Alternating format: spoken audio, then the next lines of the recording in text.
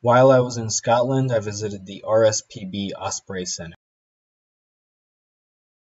There's a really cool photo blind, and you can set up your camera and sit there for as long as you want. It's one price for the whole day. It's like $6 and you just get really close to birds that land on these perches. They have little feeders out, and you can take photos of these really cool birds really close up.